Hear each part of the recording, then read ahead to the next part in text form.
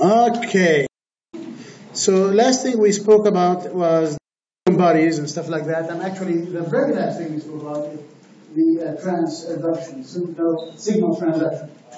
Uh, now, it, it, would be worth mentioning that uh, we skipped through a couple of metabolic stuff that are removed this semester. For those of you who uh, had the last year or last semester know that uh, we have reduced a lot of material, you know, an effort to try to uh, get things more more comprehensible and more, you know, compact. Uh, and so uh, we definitely skipped through the cholesterol uh, metabolism. and I'm going to mention briefly, but going to have much to talk about other than the context of metabolism.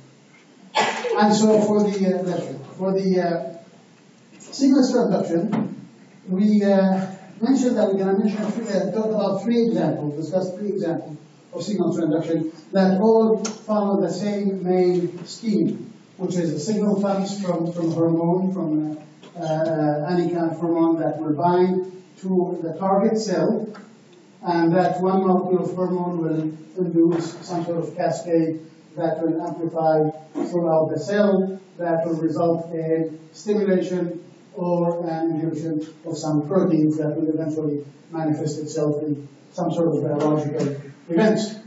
Okay, and that will be your physiological response. And you mentioned to do that, they all have a secondary messenger, uh, which is something that is made inside the cell, in the cytosol, uh, and usually it's a small molecule that go ahead and activate other proteins by simply binding. So the whole signal transduction is a series of binding and conformational changes that is tightly controlled by modifications usually that will induce those conformational changes. And most of those modifications that we've been seeing so far are through covalent uh, addition of phosphate, okay? phosphate, which is which been the theme throughout the semester. You know, we activate and we inactivate proteins through uh, phosphorylation. Okay, those are some of the examples that we need to be aware of in the signal transduction with our secondary. All right, we talked about the 7TM, and we mentioned that 7TM have seven transmembrane domains. And of course, like every receptor, they have a cytosolic part and a cytoplasmic part, and of course, the inner membrane uh, part. And so whatever comes from outside the cell has to bind to the uh, cytoplasmic part, and that will induce conformational changes that will somehow be noticed on the cytoplasmic part inside the cell. And that will, of course, cascade events. In the 7TM, we mentioned, uh, in addition to the uh, in addition to the protein, uh, the receptor protein, we mentioned two other proteins. One of them is the G protein, uh, with the three subunits, alpha, beta, and gamma, and alpha being the one that is modular, that can associate and travel around and come back. Uh, and adenylate cyclase, which is a protein that converts ATP to cyclic AMP, which is, in the case of 7TN, our secondary messenger. And cyclic AMP, of course, can bind to plethora of proteins, activating them in order to uh, do uh, subsequent and downstream activations. All right. So in, in uh, particular example, mentioned the beta adrenergic one, the one that uh, uh, adrenaline attaches to, uh, to the hormone or epinephrine, that causes these different kind of changes inside the. And so here we saw what are the events, what are the sequence of events that happens after the epinephrine binds to the 7TM receptor. And what happens here after it binds, it triggers, of course, a 3D conformational changes, weak bonds are broken, weak bonds are formed, and eventually the cytosolic part, has the G protein attached to it, will actually notice that and itself will have conformational changes. And that conformational change will actually allow it to split out the GDP, the guanosine diphosphate, and instead binds to that guanosine triphosphate. And of course, once that happens, it no longer can bind to the beta gamma.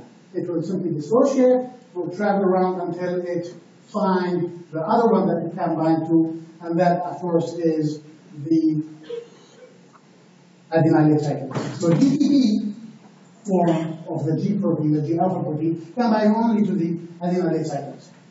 Okay? And when it binds to that adenylate cyclase, it will too make or induce conformational changes activating adenylate cyclase. Now adenylate cyclase is active, what's going to do? It's going to convert ATP to cyclic AMP, and now we have a lot of cyclic AMP. And that AMP will go many proteins, including, including protein kinase A, you know, the one that phosphorylates different proteins. Obviously, since we have protein kinase A, that means we have protein kinase B, C, D, etc. That's why we call it. Anyway, but in this case, protein kinase A, which finds proteins, the target protein, and phosphorylates phosphorate changes them, it adds phosphate to them. And that will either activate them or inhibit them. If it binds, for example, to pyruvate kinase, it will inhibit it. We know that from glycolysis. But if it binds, for example, to, say, uh, phosphorylkinase 2, it will activate. It will activate the phosphate. So, depends on what binds and response. But anyway, so that is your cascade. Of course, the next thing is to kill the uh, message what happened Ah, So, the form of G protein that we just talked about that actually activates adenylate cyclase binds to what? The one that activates adenylate cyclase. So those are the, really the uh, uh, subtleties in uh, this kind of stuff. The one that binds to adenylate cyclase is it the one that binds to GDP? or is it the one that binds to GDP? ATP, something ATP.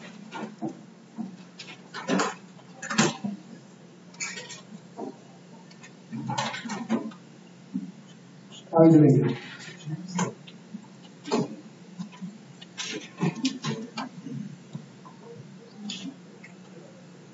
All right. So it's GTP. That's right.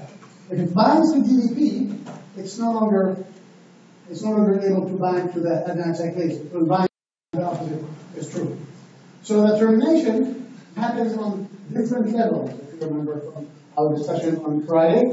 Uh, first of all, one of the first things is to stop adenylate cyclase from making cyclic AMP, because as long as we have cyclic AMP, we have activation of protein kinase and other proteins, by the way, that will keep us going. So we need to stop that messenger, the cyclic AMP messenger, and that's by stopping adenylate cyclase. But adenylate cyclase will not stop as long as the G alpha protein is bound to it. So G alpha protein should not bind to it. And the only way that it will not bind to it is by getting rid of the GTP. And the only way to get rid of GTP is simply by hydrolyzing that phosphate and make it into GDP. Once it becomes GDP, then it will no longer bind and it will simply go back to uh, beta gamma and of course the receptor. So now, when that happens, adenylate cyclase is not stimulated, it's inhibited. So we don't have a secondary messenger. So what, what makes the G alpha protein hydrolyze GTP? It is actually GTP hydrolysis. That's its job. It's, it, it sucks at it because it's very slow. And that's the idea. We want it to be slow. Because if it immediately does the hydrolysis, it will never bind to that It will never have a secondary messenger. So it has a, so to speak, an internal timer or clock. It binds it and it works very slowly. And in the meantime, while it's trying to get rid of the GTP, it will bind to that nice idea But eventually it will have to hydrolyze. All right. Oh, well, there we go. G protein hydrolyzed be extremely fast.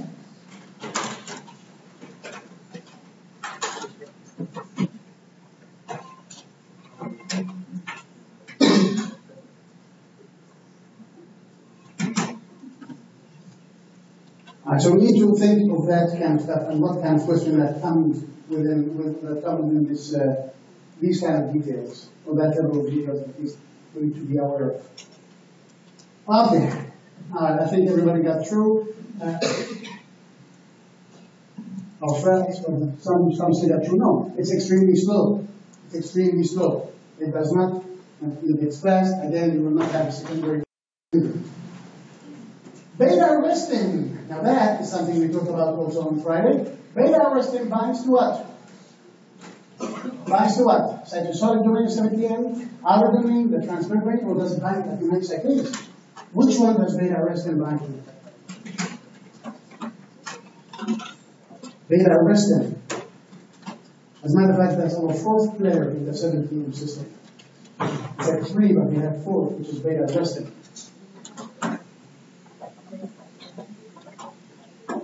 Beta arrestin. All right, beta arrestin, when the majority says binds to the cytosolic domain of 7TM, that's true. When it binds to the cytosolic domain of 7TM, what does that do?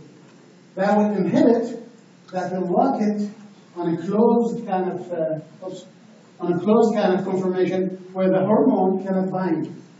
All right? Basically, that's killing the original messenger.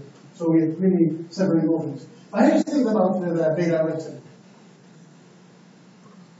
Okay? Uh, first of all, the, the, receptor itself doesn't bind the time, right? It's, there's a chemical equivalent. So once it doesn't bind, that's what is a golden opportunity for arrestin to bind. As a matter of fact, it cannot only bind to the to the cytosolic domain of uh, 7 No, it has to be phosphorylated. So we have a protein called a receptor kinase, and it's a very general protein. It kinase or kinases receptor. Yeah? It kinases the cytoplasmic side of that protein, and once it's phosphorylated, then and only then arrestin can bind. Arrestin cannot bind to the cytosolic domain anytime it wants to. Otherwise, it will stop that mission, mission uh. So it's when the hormone itself is dissociated, then protein kinase or receptor kinase rather can phosphorylate it, and that will allow arrestin to bind. Of course, then we will have absolutely no binding of the hormone. To be phosphorylated cytosolic domain, not the inner membrane, and of course, definitely not the uh, the outer membrane, or the outer uh, domain. Now we talk about two toxins that actually take advantage of that, the cholera, uh, cholera-toxin, and the pertussis, and each one is responsible for locking the G protein in a certain configuration, either keeping it all active or keeping it unactive, basically, either allowing the message to be completely uh, transmitted or basically killing it and not allowing it to be transmitted. So those are the seven fields. Then we talk about the receptors. Those are receptors that are dimeric and they themselves are kinases. Those have the ability to kinase themselves, to phosphorylate themselves. I say sorry. Of course, there was a particular example is an insulin receptor, insulin. And we mentioned this receptor that it has two halves that are mirror images of each other. They have to come together in order to allow the hormone, insulin in this case, to bind. Otherwise, it cannot bind to half. And once that binding happens, then those will be actually together for quite some time. And because of that, the beta subunit is a kinase. It's a protein that phosphorylates. Because they are close to each other, they will cross phosphorylate each other. Now, this one will phosphorylate this one, and this one will phosphorylate this one. Okay? And it's the phosphorylation event that will make things noticeable for the rest of the system. Okay? All right. Okay. So that happened, phosphorylation. And then we're going to have the IRS protein, or IRS1, which is the uh, receptor substrate. That is the one that actually binds to that phosphorylated receptor. And once it's bound, then it will be phosphorylated another protein that is called phosphoinositide 3-kinase. Okay? So, as you remember from Friday, this is a sequential phosphorylation. Each protein phosphorylated will activate the next protein, and activate the next protein, etc., etc. But it has to be sequential phosphorylation. And those phosphorylation, by the way, most of them happen on which amino acid? Does anybody remember? Tyrosine, that's right, tyrosine. Tyrosine is one that phosphorylated. Okay? So, once this is phosphorylated, this takes notice, okay? It gets phosphorylated, and it generates our secondary messenger. Secondary messenger. And I want you to be very aware of the nature of the secondary messenger, which is a phospholipid. And remember phospholipid is basically glycerol, two fatty acids, and an alcohol. In this case, what is the alcohol in the inositol phosphate? What is the name of the alcohol in this case? Inositol. Inositol. Remember, we didn't need to remember the structure of alcohol, but we have serine, we have ethanol, and inositol is one of them. All right? So that is one of the alcohols, and it's phosphorylated make it triphosphate, and the PIP3, which is phosphorinositol triphosphate, becomes our secondary messenger since it's, it's a, a lipid, it's a phospholipid, it will actually maintain its presence within the membrane bilayer. And that's where it will this is the secondary messenger here. It's very dramatic. This is the mHTO, by the way. mHTO. This is diphosphate. One, two. See the diphosphate? One, two. Once it becomes phosphorylated with the kinase we just talked about, those via then it becomes one, two, three, and hence step three. One, two, three. Okay, that's the glycerol. That's your glycerol. That's OR. That there's an alcohol here. I mean uh, fatty acid, and that's the other fatty acid. Okay. This one now can travel, and it will find its protein. Phosphorylacetol. This is of course the question that I just answered. But is phospholipid that contains what? What does it contain again? Phosphorylacetol. You'll see why I'm, I'm uh, trying to get this information hammered again a little bit. But hopefully today. Okay, phosphorylacetol has what?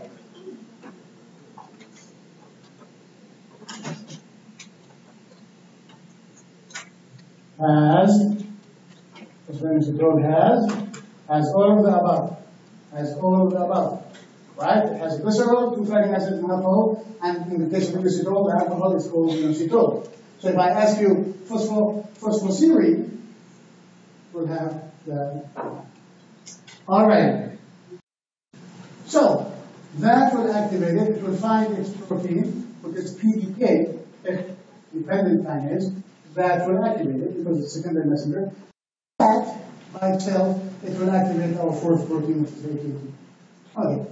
But without this triggering effects here, AKT eventually will not be able to activate whatever comes afterwards, including what we need to metabolize glucose. Because we're talking about insulin here. Insulin, of course, allows the glucose to be cleared from the bloodstream. As we have a lot of glucose, we need insulin to actually give the message to get the glucose inside the cell. Okay? This is what we have that. Okay? So if that message is killed somewhere, then we're not going to have insulin. If we don't have insulin, we'll not be able to do it. Okay. All right? Are we cool so far? Things are uh, ask me at any point. Just let me know. Okay. Now we need to kill them. Said here, I'm telling you that GLUT4 is one of them. GLUT4 has, does anyone remember, has high or low to glucose? Has uh, high Km means low affinity has a low affinity, right? Because it doesn't kick in until glucose overrun has, uh, has a high concentration in the blood. All right, so we need to get it in here. And so GLUT1 and 3 are not enough anymore. GLUT4 comes and try to clear. All right. All right, we need to terminate this. The termination happens by the removal of all those phosphates that took place. All right, so this is phosphorylated we have to remove the phosphate. If this phosphorylated, we have to remove, of course, since it's phosphorylated to tyrosine amino acid, tyrosine phosphatase will be on its uh, choice. Uh, since here, PIP3 is phosphorylated from PIP2 to PIP3, then lipid phosphatase will move it back to PIP2, and hence PDK will not be uh, phosphorylated anymore, and the remaining, of course, AKT will be dephosphorylated or phosphatase by a serine phosphatase, serine phosphatase. Its last protein is phosphorylated as serine. By the way, the three amino acids that are usually phosphorylated in a protein, tyrosine, serine, and threonine. Those are usually the three amino acids. Okay, so now I will mention a third example. Third example that is slightly more complicated because this one makes two, two secondary messengers. All right? So as you can see, the system is in place and it's also modular. So each one has its own different things to be. Okay, so let's talk about this. This one has inositol, the alcohol inositol, and calcium. Plus it has also another uh, one you'll see in a little bit. It is 7TM, just like the other one, and except it's still a bit more elaborate. And it has a G protein, so G, G alpha Q, it from the other one. All right, so what is this? This is PIP2. This is the inositol diphosphate, and these are, of course, the two uh, fatty acids. And, of course, in this case, the G protein will break this. Actually, not the G protein itself will break this. The lipase will break it. Remember, lipase is a protein or enzyme, plasmid enzyme that break fatty acids. But lipase will break it, and will give us inositol by itself, the alcohol, and will give us a diacylglycerol. Basically, it's glycerol, glycerol, you know glycerol, right? With two fatty acids, no alcohol. Okay? Excuse me. Okay, so those two will behave separately as messengers. Each one will activate something, will create a different message. It's an amazing system, really. So here's where we're going to start from. We're going to start after that point that the hormone bound to the to the uh, 7TM and activated the G protein, etc. Now phospholipase C is active, and just like I showed you in the previous slide, this is the inositol phosphate, the PIP2. Inositol is broken off, split off, it's an alcohol, so it's soluble in the cytoplasm. And the diacylglycerol now is, will remain in the membrane and will go and activate another protein. What is this protein? Protein kinase C, or PKC, as opposed to PKA. This protein phosphorylates other proteins as well, but it phosphorylates them on a different amino acid. Hence, it activates, it has its own posse of protein that it activates. It, it phosphorylates, which amino acid in this case? You don't know? It's serine. Serine and threonine. Okay, serine and threonine. Now, back. Now, here's what happened. So that, that, that glycerol, that's a, the fatty acid basically, triglycerol, except it's bad, not right binds here, activating this, that the inositol itself will actually go through the cytoplasm and go to the another one, another protein that is within the plasmic reticulum. And it binds to there, activating it. It's actually a receptor slash channel that will allow calcium to flood the cytoplasm from the endoplasmic reticulum. Now, without going through details that we really don't need to know for the purpose of this class, this will eventually trigger muscle contraction. Calcium will be in the cytoplasm, flood the cytoplasm, will make a contraction. All right. So, but basically we have here several things happen. We have diacylglycerol, we have the inositol, and then we have calcium going out because of that. Okay? So it's really elaborate message. And protein kinase C, of course, will go in its own way, and it will activate its own proteins that will allow different metabolic events to happen. Okay? Different metabolic events. But you see how this is important? And you see how really any mistake in all, at least those three that we talked about, can screw things up just because of misphosphorylation or, or miscommunication. Mainly, we are, we are multicellular organisms. Each tissue has to receive the right message at the right time to, to respond. All right, any questions about this? Okay, so those are the three yes ma'am. So first, the coffee has to be liquid and then you try coffee. Uh, Then PDK PDK? or PDK. No, actually, that will allow it to activate it more. No, this is what happens first, and then calcium will flood. Uh, so if that inositol is not broken from the pit, it will not activate the channel, and hence calcium will stay inside the endocardial. So this has to happen first, and some calcium will start pumping out. And this, this is that. But then when you have more acid, That's right. That's right.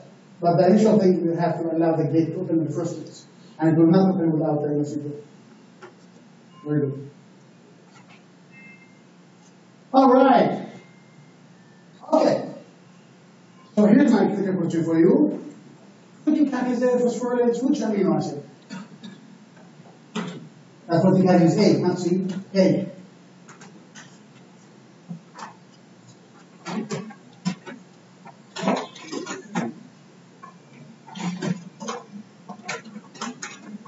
Kinase C here, I just want to tie things together, so I'm mentioning kinase A as well. Right? All right. Wow. Okay, well that's the tyrosine. It's tyrosine. Okay, tyrosine. Protein kinase A plus tyrosine. Alright, another tyrosine, this one is serine and threonine. Okay, C is threonine. Okay. Alright. So, again, briefly what happens here. Is inositol is clipped off the uh, phosphoinositol, and that by itself will go and bind to the calcium channel, to the plasma reticulum, allowing the calcium to flood the cytoplasm, while that cytosol will go and activate protein kinase C that will activate other proteins, like just like protein kinase A. Okay, by the way, this is what, what happens here with the calcium ion the cytoplasm. It does many things, including glycogen breakdown. Actually, we break down glycogen. We flood even more glucose, right? This is what happens in the opposite direction of that. Okay. All right. So now, now it's time to review all what we talked about this semester. This is called metabolic integration or metabolism integration, and that happened in chapter 27 for, for, uh, for in the book. And here we are going to again try three scenarios. One of them is uh, obesity, the other one is uh, diabetes, and we're going to talk about also alcoholism. And of course, we're talking about those events here, those, those quote unquote lifestyles to some extent, uh, in, in the context of metabolism, just to see what happens metabolically speaking. And, and really the idea here to review, of course to increase our knowledge and all that kind of stuff, but also to review what we're talking about. Okay. Let's review carbohydrates. Carbohydrates in the liver. What happens to it after it goes, gets in? It becomes, of course, glucose 6 phosphate, right? Now, in the liver, which is the liver, by the way, what happens is, if other tissues want glucose, it will be phosphorylated, right? It will go as glucose and will disappear in the bloodstream. Now, where does this event happen, the phosphorylation, everybody remembers? Where? In the plasma reticulum, and it's a phosphatase, right? It's a phosphatase. Okay, so that everyone does that. Also, if we have a lot of glucose, then we can store it into glycogen. We can make glycogen out of it and store it, and the liver will be one of the sites for storing glycogen. ah, this is what? What is this? To ribose and NADP pathway. This is PPP. This is glucose phosphate pathway. All right. Of course, ribose can be used as we see nucleotide metabolism. You know, ribosyl pyrophosphate. NADPH can be used for many things: synthesis and detoxification. Right? Okay. Cool. Of course, glucose itself can go through glyco, uh, glycolysis and go to pyruvate, acetyl-CoA What happens to acetyl-CoA One of the many fates it has that we know this semester. Citric acid cycle. Acid cycle can, of course, give us energy through electron transport chain. Acetyl-CoA can also go through another route. What's the other route? It can build cholesterol, the route that we didn't talk about. And what can we do with cholesterol? We can do many things. Many, many things. One of them is making hormones. One of them is making bile salts, right? To emulsify fatty acids when we, when we need them through digestion. And of course, we can build fatty acids through fatty acid synthesis, right? Can we do that? Can we do that? Acetyl-CoA through malonate. So a lot of stuff can happen with that. Well, what else can we do with that? One more thing, it's not. We can build some sort of bodies. Ketone bodies. We can do right? All right, so here, this is several weeks in one slide. How about fatty acids? What do we do with fatty acids in the liver? Well, of course, they can go to the liver. They are transported. They can go to liver. Liver can have some of the fatty acids, right? Can metabolize it. Uh, we can make uh, plasma lipoprotein. They're transported through plasma lipoproteins, right? You know, especially when we digest them first, they go through chylomicrons, right? And they can travel through the blood. They can be stored, adipose tissues, etc. All right. Also, if we need them, they then leave adipose tissues and they travel through albumin as, as separate fatty acids. All right. Of course, fatty acids through beta oxidation will give us what? Acetylcholine A. Acetyl-CoA can go through the cycle that will give us energy. Okay. So again, we go back to the What else can we do there? Of course, we can do first row and we can do this one. Okay. So there's a lot of interaction, a lot of uh, uh, cross uh, or, or stuff in common between both of them. Okay. This is, by the way, the uh, fat cells, and adipose tissues, and we can see how it has So now, let's consider, and that is overnutrition. Okay? Which, as my mom called it, eating like a pig. And she's talking about me. So I can talk about myself in this case. So what happens here? We have a lot of fatty acids in the blood. Let's start thinking of this metabolically. Okay, I need to think about this metabolically. Fatty acids, okay, now uh, Diet is very good if we do exercise and all that kind of stuff. But now we're eating and we're not exercising. And we have a lot of energy in our body. And so they will be stored in our adipose tissues. But now we are in that phase of overnutrition, we're going to have a lot of fat. What's going to happen to that lot of fat? All right? They will, actually, now that we are beyond the capacity that we have, they will go into the blood. Okay? There is no place to put them in. What to do with them?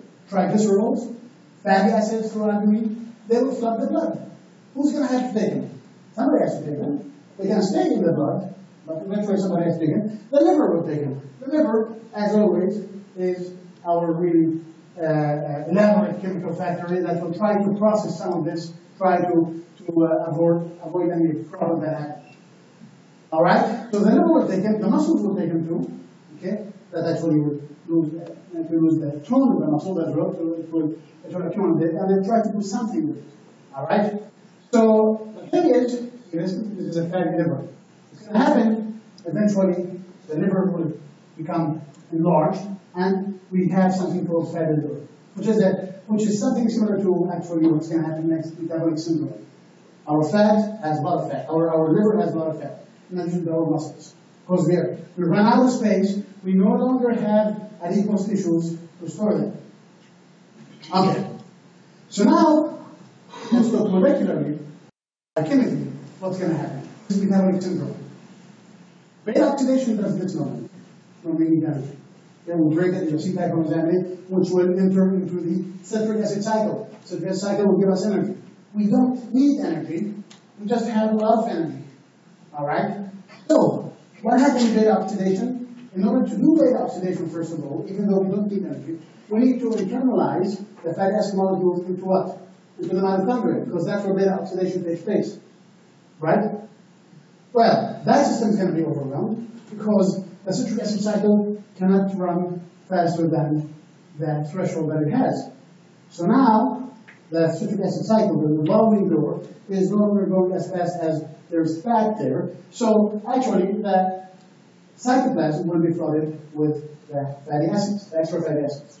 I'm talking about the liver in this case and the muscles and so on. So we have a lot of fat and then cytoplasm. Lot of fat, fatty acids, and of course we have glycerol because we broke them from the adipose tissue. So what's going to happen? Eventually we're going to have to reincorporate into the triglycerides. Just because it's a chemical balance. Pure chemistry. So all of a sudden, while we had a lot of fatty acids and glycerols, under normal, circumstances, they will go through beta oxidation, and glycerol will go to gluconeogenesis or provide energy, depending on what the situation is. Now they found themselves together again. We have to reincorporate them into glycerols, triglycerides. Triglycerides, diglycerides. Diglycerides, one of the things. So what's going to happen? Tri and diglyceride. Where we see this? We see a secondary messenger in one of the 7TM messengers, right? So all of a sudden, we have a secondary messenger because of the incorporation of the extra fatty acids into glycerol, but we don't have any hormone that triggered this. Yet we have somewhere in the middle a secondary messenger that is uncalled for, that's going around activating what? Protein kinase. So all the stuff that happens before that is even non-existent. Nobody triggered the message. There's no hormone. We don't need energy. So it should really shut down. But because of that overwhelming amount of fatty acids and glycerols in the cytoplasm that we have no place to store them, they got reincorporated and they made us diacylglycerol, a secondary messenger of this particular system. That will inadvertently bind to protein kinase C. Protein kinase C will be activated. Right? What happens when it gets activated? It will phosphorylate proteins. Its own proteins, but protein kinases, we need to know, these are general proteins. They will actually, if, if they run out of things to phosphorylate and they're still active, they will phosphorylate any protein. Right? with, with much less efficiency, but they will phosphorylate any protein. Okay? But we have really a rogue signal that has no origin. All right, so now that protein kinase is active and phosphorylating left and right with absolutely no control, one of the things eventually that we will get is protein. This protein. That's part of the insulin signal system. Remember that? Let's talk about this. IRS. Now, IRS, in order to do its job, it has to be phosphorylated at which amino acid? Tyrosine. But protein kinase phosphorylates what? Serine 3. Different amino acids in the IRS are phosphorylated. Does that make it a good message at that point? Would it, would it give the message off? No, because it's phosphorylated in the wrong place. All those here will not even see that message. Okay? Because it's phosphorylated in the wrong place. As a matter of fact, it's phosphorylated before even insulin got here. So when insulin comes, oh, this is phosphorylated tyrosine theory now. Okay? So we give another message. We give another message, and that's a very horrible thing to do. Because now insulin all of a sudden has no authority. This is called insulin resistance. And this is part of the insulin resistance, one part of the insulin resistance, where you have actually the internal message is sabotaged by phosphorylating the wrong amino acid because of the wrong message. So insulin will come, will do nothing. Now what does insulin do? Insulin will trigger many uh, glucose transporters, and actually the pancreas itself will take some of that glucose, because now we have a lot of glucose in the body, right? And so glucose will be internalized by the, uh, the uh, pancreas, by the beta cells, and once the, the this is because they have a lot of sugar. So once the pancreas has a lot of sugar that it doesn't have before, it will actually metabolize it, just like everybody else, into into a and, and will give us energy and will make ATP. That usually under normal circumstances, that extra ATP will open different channels and will stimulate the beta cells to produce insulin. So insulin will be produced and will be secreted out of that pancreas and will go to the bloodstream and will go and say, hey, we have a lot of glucose, let's get the brute force to get the glucose away from the blood. Let's get it inside. We get to store it. But remember what happened is that insulin is no longer giving the message. So no matter how many times it binds to those receptors, there will be no glucose transport, would it? Still, there is a resistance to insulin. So the pancreas doesn't think that insulin is working, so it will produce more insulin, and will produce more insulin. And producing insulin means making protein. Remember that insulin is a protein. A lot of translation, a lot of transcription, a lot of cellular resources to make. And yet, still the insulin, the uh, pancreas transporter is getting more glucose, as if nothing is happening. Usually it will stop once there is no glucose coming inside, but again there is resistance to insulin. So, it will keep doing what it's doing until finally it undergoes apoptosis. Apoptosis. Here's the word, apoptosis. That means committing suicide in cellular uh, term. The beta cells will basically undergo apoptosis and they will die. And hence there will be no more insulin. What does that mean? Does that mean we change from metabolic syndrome to type 2 diabetes? Okay, so that can happen after metabolic syndrome. After, after you go through uh, extreme obesity, that's the next thing that will happen. That means you cannot even produce insulin at one point after that. Okay? Why? Because cells, the beta cells in the pancreas got killed. All right? So now it doesn't matter whether the insulin doesn't get there or, or whether it gets there, because you don't even have insulin production anymore. So that causes type 2 diabetes. Now, usually, with, with lifestyle changes, you can actually take insulin and then insulin eventually will become, you will no longer have resistance insulin. So you can't reverse this. You still have a chance to reverse this. Diabetes. So from metabolic syndrome to type 2 diabetes, these are the metabolic pathways that got screwed up. Okay? And this is why, because fatty acids has overwhelming accumulated in the body. And all of a sudden we have of glucose as well. So all of a sudden we have no communication with the outside world, which in this case means the bloodstream, and hence everybody is doing, uh, you know, a bad job because the messengers, the messages are not going through. Any questions?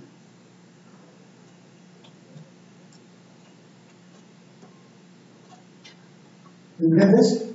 You got the sequential events? Very important that we need to. Okay, so how many pathways we talked about so far? For review. Beta oxidation, right? Good beta oxidation. Acid synthesis, including the internalization of acids in mitochondria. Of course, glycolysis. And here, who does glycolysis? The, the pancreas. Why does the pancreas do glycolysis? Pancreas usually doesn't see much glucose, but when it sees it, and it sees a lot of it, and it produces a lot of ATP, it will be forced, ATP in this case is a signal to make more insulin. If the insulin doesn't do its job and clear the glucose from the blood, then the pancreas will see more of that glucose and it will think that under this we still have to produce more insulin.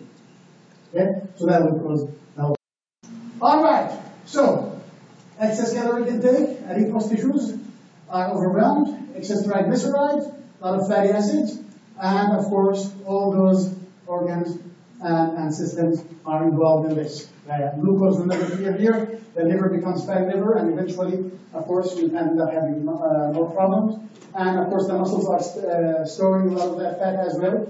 And the pancreas eventually shot itself dead because it found out that its insulin is not doing anything. I will pick it up for you, but I cannot bend that far. Sorry, because I have excess fat. All right, any questions? Alright. All right. Are those? Are lipoproteins. You've seen some of them, right? Those are cal- this can be chylomicrons, can be stuff.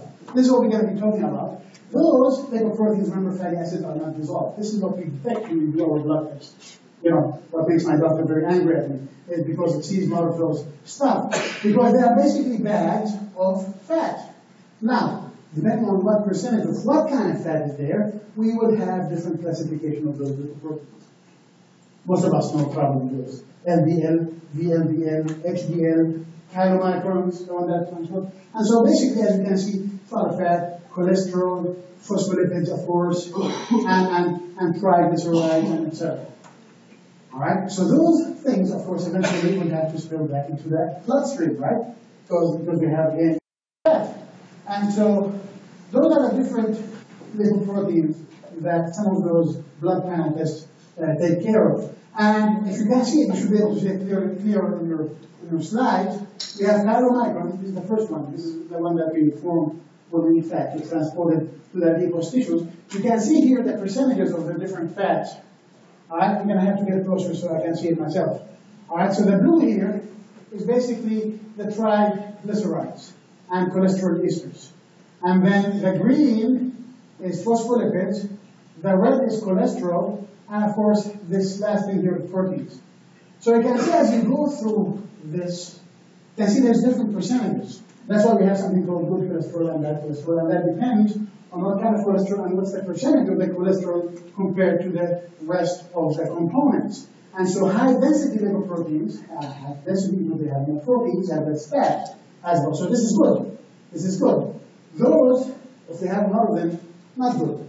Not good. We want to reduce those as much as and that's why we have those bad cholesterol and good cholesterol. We want to increase this as much as we want to reduce the triglycerides blood, hence reducing the possibility of having the uh, the metabolic syndrome and, and God forbid the type 2 diabetes. Okay, we'll meet tomorrow to talk about the other tragedies.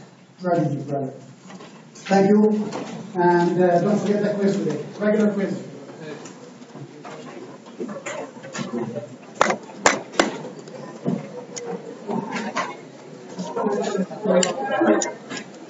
I sent you that email this morning about coming to your office today. Yes. Which one are which office are you going to be in? The uh, annex. Okay, at twelve thirty. Yeah, I'm sorry. Okay. I thought I responded, but rather. You just forgot to say which room. I just Oh, wanted to double check. Yes, it's the okay. annex. Okay.